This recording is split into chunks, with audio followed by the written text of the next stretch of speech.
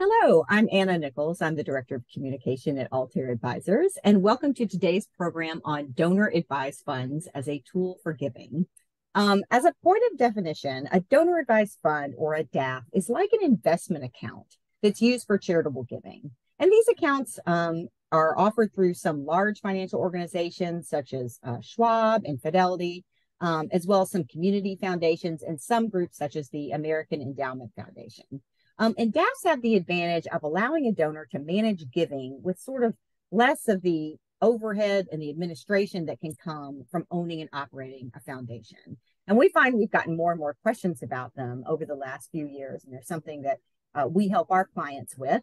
And I'm excited today to welcome our guest speaker, John LaFleur, to our program to bring his expertise to you uh, because this is something that is right in his area. Um, John is a managing director at Strategic Philanthropy, an independent philanthropic consultant to families and individual donors. Um, and John comes to this work with more than 21 years of experience working in a large family office and heading up their private foundation. He's also active on the board of several nonprofits, and so he really understands uh, this giving from both the perspective of the grantor as, where, as well as the grant recipient. Um, and we've invited John to be with us today because we receive, again, a lot of questions about donor advised funds. And John has been, you know, someone that we often turn to uh, for his expertise in this area. So a big welcome and thanks to you, John, for coming to talk with us today. Absolutely. Um, uh, very much appreciate the opportunity, Anna, and um, as well as our, our partnership over the years. Yeah, well, it's good to um, see you again. yeah, same here. Same here. I'm going to actually take us out of this format to get us off the slide so our, our viewers can see you a little a little bit better. So bear with me for a second. Okay, now having done that, all right, let me start off by asking, um, you know, we're here again today to talk about donor advised funds. But before we even sort of dive into that, I kind of wanted to ask you when you sit down to work and consult with a new client and they want to think about mm-hmm. things like vehicles, before they get into that, what are the starting points that you want them to be at? What are the things you'd like to talk with them first and foremost about? Um, okay, so you really touched on it. So the first the first part is really having preliminary planning conversations and we're always happy to be part of those conversations um, so as folks are trying to figure out what the right vehicle might be for them, whether it's a private foundation, a donor advised fund, a charitable trust, or some others. But a lot of that is going to be driven by their uh, wealth and tax advisors. And so before they start thinking about um, these decisions, because what's one of the important things to talk about is that these funds are irrevocable. So once you put the money into a donor advised fund, it's it's it that this is the amount of philanthropic capital that you're setting aside that is no longer yours. So you're taking the first step to donate it to a charitable entity like Schwab Charitable, Fidelity Charitable, American Endowment Foundation, or or or maybe your local community foundation. Mm-hmm. But but the important thing to to keep in mind is that you're you're letting it go. Uh, you can't get it back yes. once you put it in, and um, so it's important to have an upfront conversation with your your your wealth, your tax advisors, and um, we we we're happy to do complimentary conversations with us too, um, just to help make sure that you're picking the right one, and you're thinking through what some of the um, you know what what the impact is going to be once you make this contribution to one of these funds.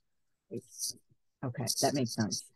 And how should people think about the vehicle for giving that's going to work best for them? Um, you know, what are the aspects that you want them to consider in that decision? Um. I know you, we talked on the phone some about some know, purpose and flexibility, all those kind of things, but just want to hear um, what mm-hmm. your thoughts are on that. Mm-hmm. So you can accomplish generally, you can accomplish most of the same things, whether you have a private foundation, a charitable trust, or a donor advised fund.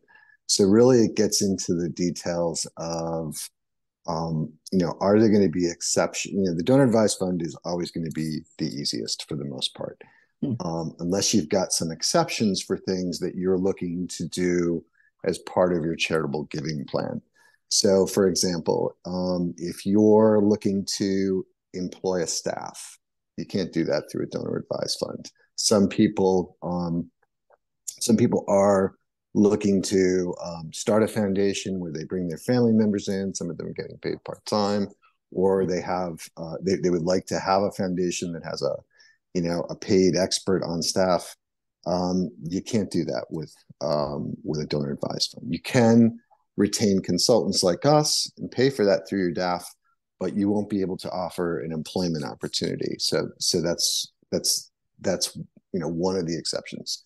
Mm-hmm. Um, if you're looking to do really heavy duty philanthropy, where you're where you're doing things like um, uh, what's called program related investments, where you're making loans to nonprofits, and or you're um, you're actually buying them a building, um, you know that's going to be something that's not going to be able to be done through a donor advised fund either, and that's one of the reasons why people set up uh, private foundations. Mm-hmm. And then we, just one other quick example is if you need, if you were thinking of making grants to individuals for fellowships or for mm.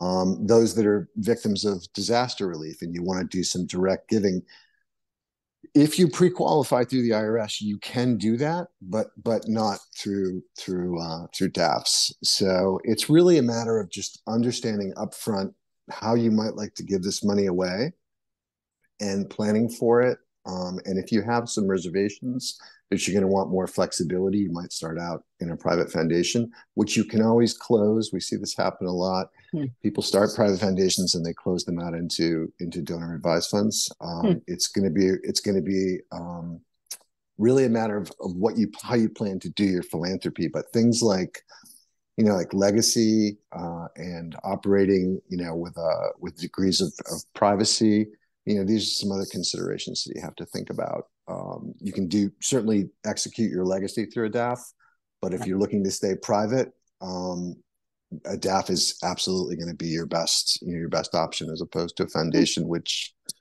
you know which is going to be out there um, your your tax return will be out there and be public for people to see. So daf's actually more private in some ways. Absolutely yeah. They offer it and that's okay. that's one of the reasons um, and then you also need to think about how you're going to fund your your charitable vehicle. Um, the um, and this is why it's important to have these upfront conversations with advisors. Mm-hmm. Um, depending on whether you're funding with you know things like appreciated stock or art or real estate, um, those are going to get probably better tax treatment if you're putting them into a donor advised fund because that's a public charity than if you're putting them into your private foundation. Okay. Okay. Interesting um, kind of based on, and this is a similar question what we just talked about, but when would you advise someone to have a DAF as the best vehicle? You know, can you, or I'm just trying to think, can you share an example of when you mm-hmm, would say, you sure. know what, in this case, I think sure. a DAF would actually make a lot mm-hmm. of sense. So, so touching back on what I just said, we have one uh, one client couple right now who's sitting on, you know, a lot of appreciated stock, like um, uh, that they've had in the family for years. They come from a Fortune 500 com- uh, company and they're not going to want to sell that you know they're looking to to dispose of it um, but they're not looking to do it all at once. That wouldn't be beneficial for the um, for them for the for the uh, the charities they want to support. So uh, in this particular case uh, given that their plans are still just getting started they're looking to focus on um, affordable housing and the arts in wisconsin um, mm. they're and they're giving away about a half a million dollars a year. So they're selling their stock off over time, and the donor advised fund is offering them preferential treatment um, over what they could get if they were to put it into a private foundation. They've certainly got enough stock to start one, and that's one of the things that maybe we should just touch on. Is we typically recommend if your charitable assets are going to be below $10 million, that you should really look at a DAF. Now they're okay. giving away half a million dollars a year. Um, they've got about $3 million in their donor advised fund account, but they're sitting on well over a $100 million worth of stock. And they're going to be, you know, getting rid of it over their lifetime. But that's a great example of where they've got enough money to start a private foundation, but there's really no need to because it's just the two of them. They're not planning on any succession planning. They're planning to do, you know, lifetime giving.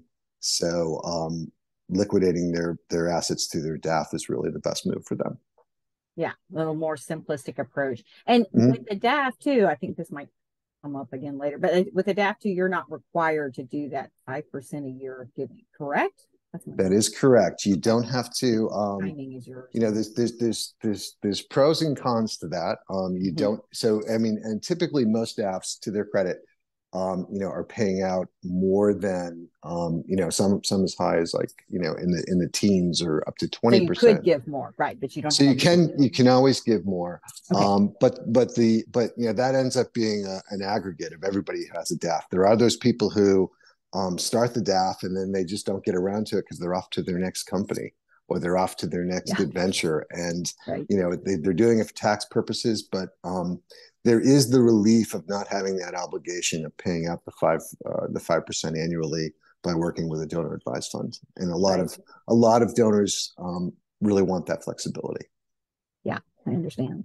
Um, what are circumstances you said just a second ago, you know, if you're if you're sort of in the $10 million a year and sort of giving mark, you know, you might want to consider a foundation. Now, of course, a foundation, it's a you're then owning sort of a, a, a legal entity. I mean, you're owning a business in some ways at that point. You know, what are other circumstances where you would say, eh, you know, and you talked touched on that a bit, but where a foundation actually might make better sense than a DAF, like the reverse of the question I just asked. Sure. Mm, Yeah. yeah. So again, going back to um, how how uh, aggressively and involved you want your philanthropy to be, um, if you're looking to um, you know do things that are much more complicated or not simply not allowed by a donor advised fund, um, you're going to want to go with a with a foundation. But then you're going to, you know, it, it is to your, which I think is a good way to put it. Even though it's not technically a business, you need to run it with the same um, discipline and um, reporting requirements that you know a business has. A, a foundation is going to pay excise taxes, has to file a tax return, it has to meet you know annually, take minutes, it has to register officers. Um, there's uh, you know a fair amount of governance and then structure uh, you know that you're going to want to implement in doing your foundation that um, is just simply required, uh, it- you know, Yeah. under the private foundation rules. Um, and you just have to be ready for that. Um, so we do work with, um, you know, we work with families on both. Uh, most of the families that we work with, frankly, even have both.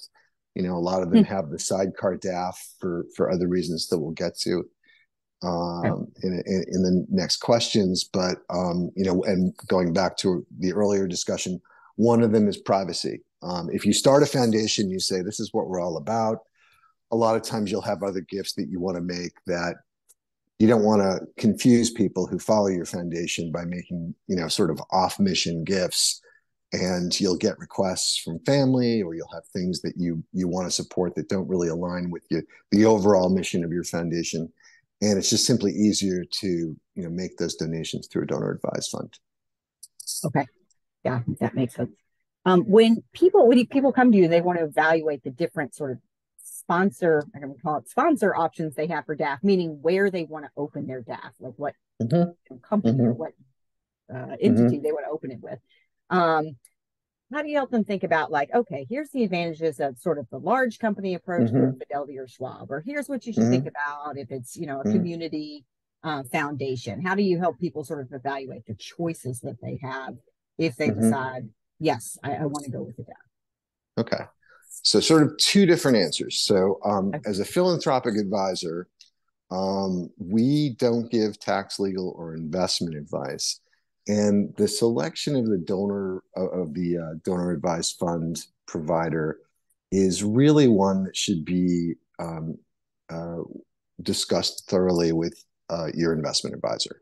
So, so for example, Mhm. somebody at Altair Yep. um, is going to be the best person to provide that, to have that discussion with, uh, Okay. with regards to who it is, with regards to whether you go to a large foundation or a community fund, I mean, a large donor advised uh, DAF provider like Fidelity, Schwab, or AEF, or a community foundation.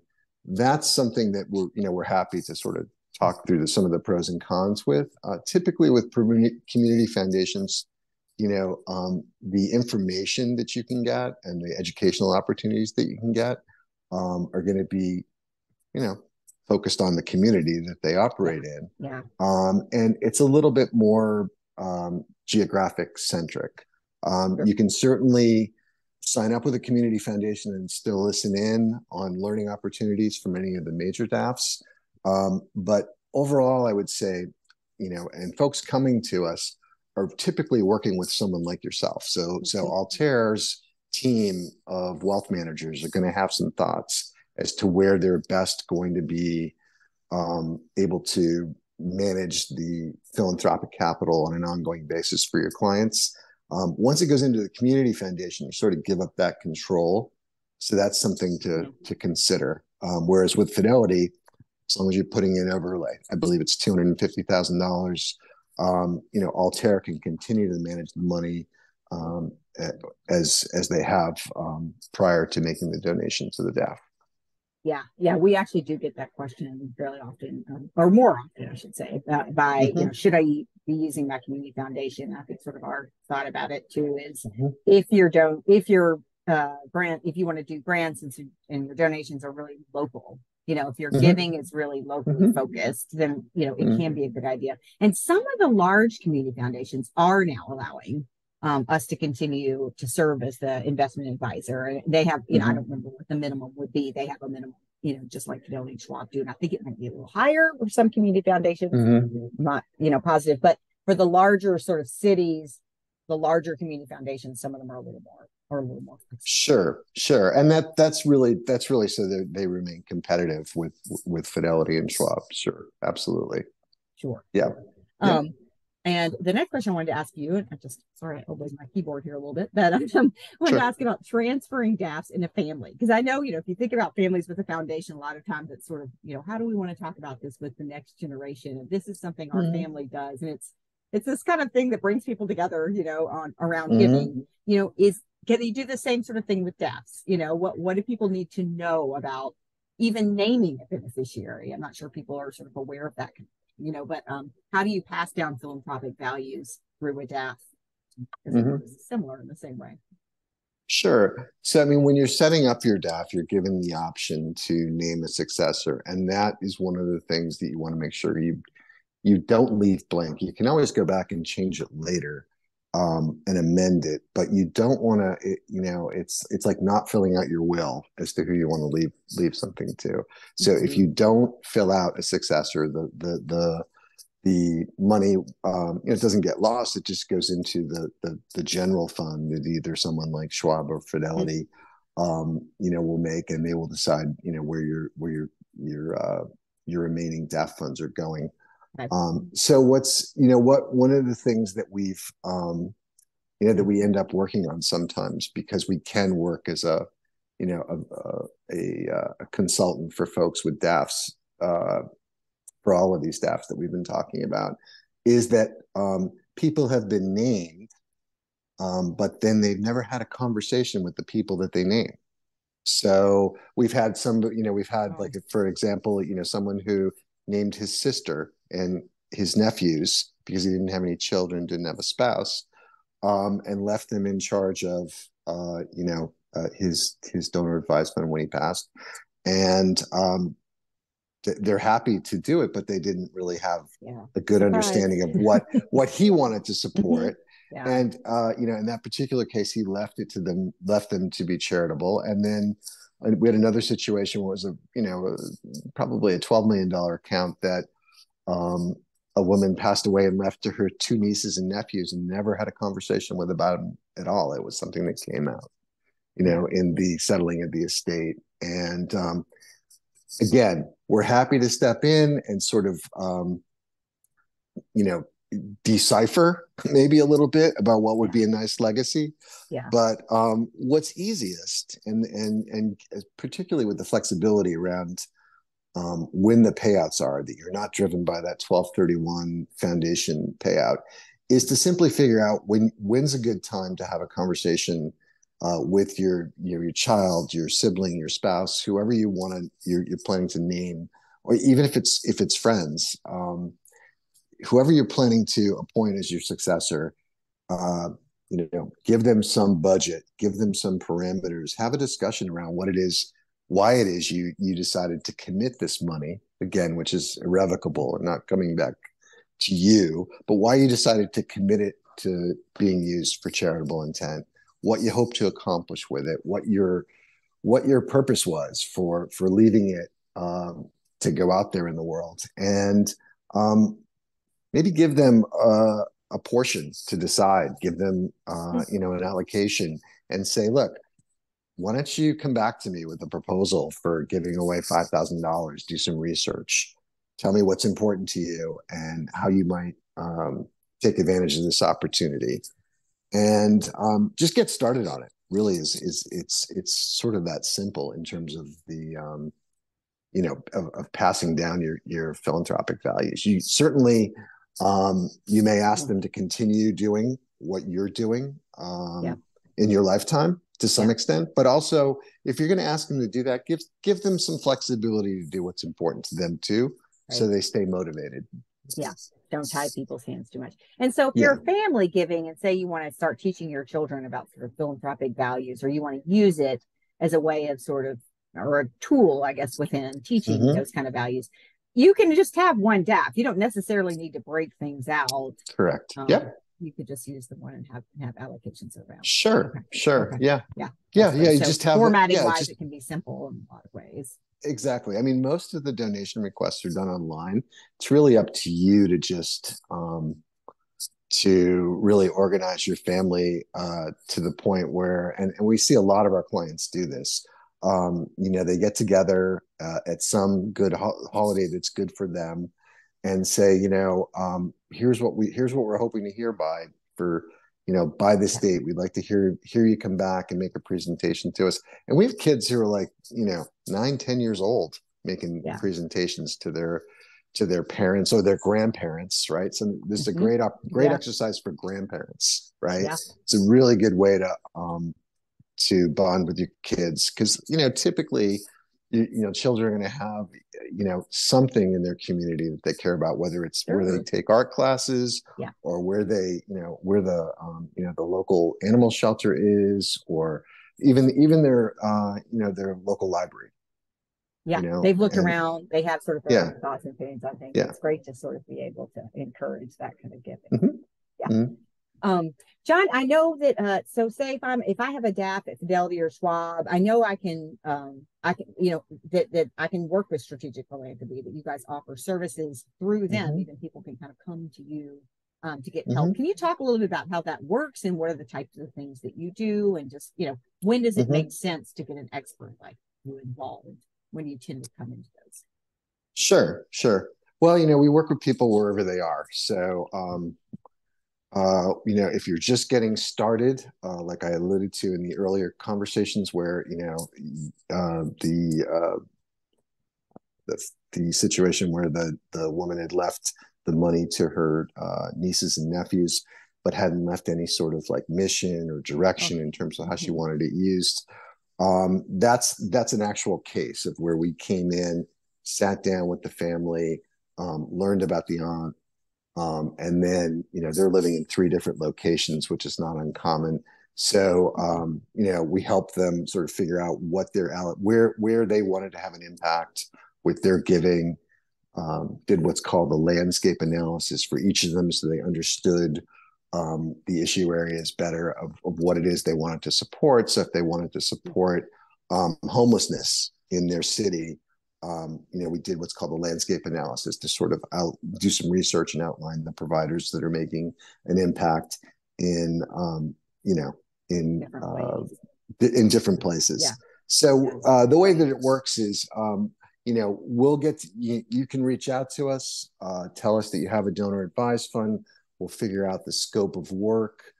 Um, and then um, we're set up as a, a, vendor basically at Fidelity or Schwab or AEF and we submit a proposal to them saying, you know, here's your here's your client, here's your uh, donor advised fund holder. Um, here's the like the work that we'd like to do with them, and um, you know, and they can actually pay for our services through the donor advised fund. I mean, oh, there's different parameters.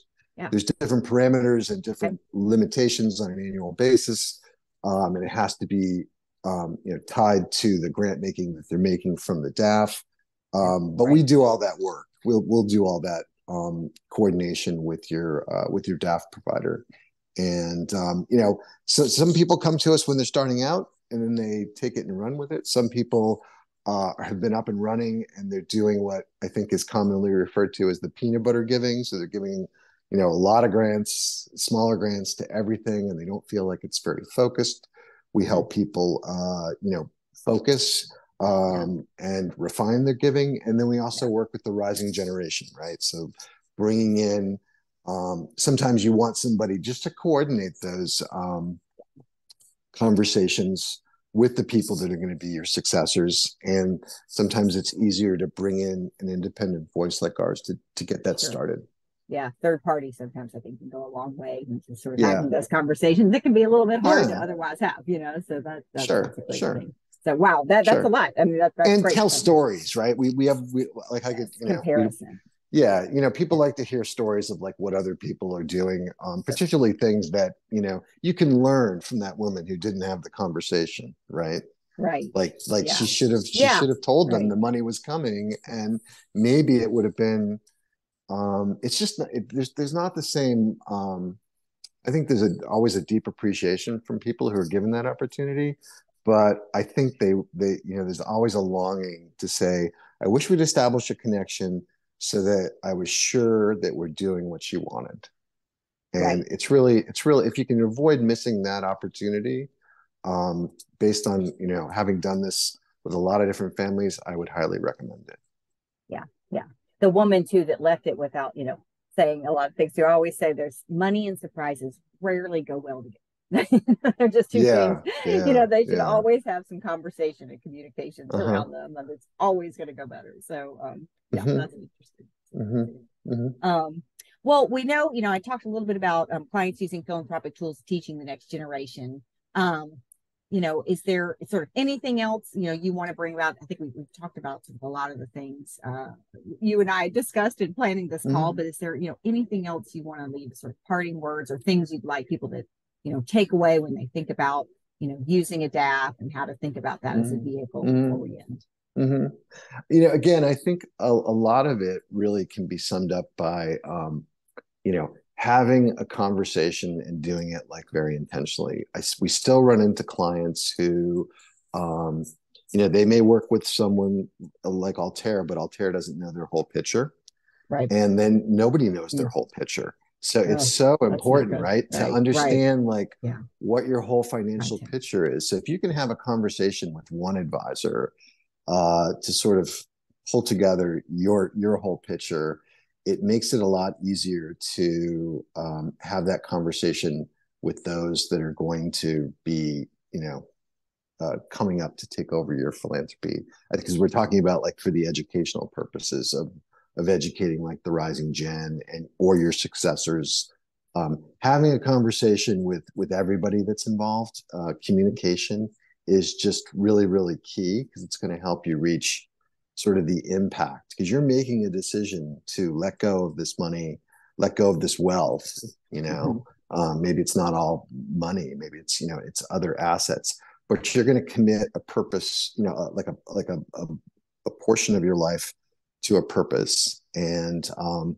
there's a lot of you know there's a lot of folks that can that can help you out if you just open up the lines to communication and yeah. do some planning. And as i said some of these exercises with the next uh, the next generation of family members um, or or just folks that you plan to involve in your donor advised fund um, are just really important. And if you can't um, manage them on your own um, we're always happy to have a conversation about how we might be able to help that's great. Yeah. And I love ending on that note of sort of integration of, of wealth issues because that's something we're really big on. Please don't work in things in silos because we all need to know, yes, you know, what, the, yes, what, your yes, entire yes, team yes. is doing, which includes yes, giving, yes, yes, estate planning, includes us in the current wealth planning and the tax planning. But yeah, it's it's dangerous to have it all too separated because yeah. you know you, you yeah. want to you'll have you you'll yeah. get better advice when people understand your full picture. So you want your advice. Sure.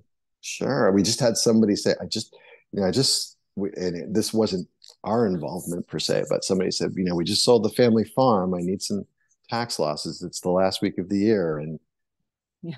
there weren't any to be had. And, you know, with some other planning, knowing full well that these proceeds were going to charity, um, you know, if we had if we had talked with them or the advisor had been able to talk with them, yeah. who didn't know that there was a family farm. Um, yeah, it, it, you know, done. It it could have been done, Option, and a lot more, more options. yeah, a lot more money uh, that went to capital gains taxes could have gone oh. to uh, do some charitable charitable giving. Right. So right. just talk yeah. to people. Just yeah. have a conversation. Yeah. Again, anything sort of yeah, surprises or missing, you know, can sometimes lead to missed opportunities. So yeah. Well, thanks so much, John, for being here with us today. We appreciate your taking the time to do that. And yeah, we welcome client conversations on uh, yeah. donor advised funds. Yeah. Uh, we can make an introduction to John. Yeah. We can, you know, we do a lot of help with that directly at Altair. So we appreciate everybody listening today and um, hope this has been a helpful conversation. So thank you.